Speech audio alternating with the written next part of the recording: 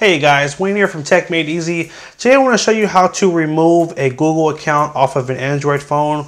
Um, the process will vary slightly based on which Android phone you have, but I'm going to just give you a general framework of where to go and what to do to remove uh, a Google account off of an Android phone.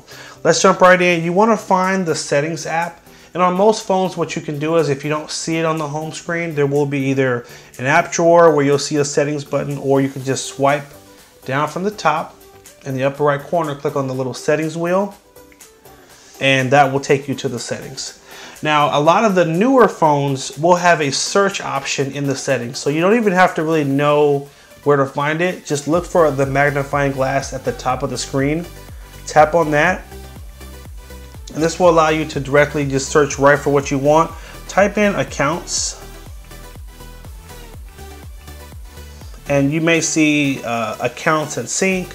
You might see cloud and accounts. It could say a lot of different things, but usually it's gonna say accounts in the menu.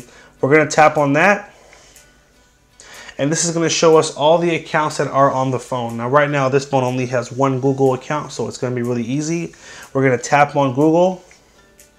And in the upper right corner, these three dots, so look for a menu on this phone, it is in the corner, but on, on other phones, you may see it somewhere next to it.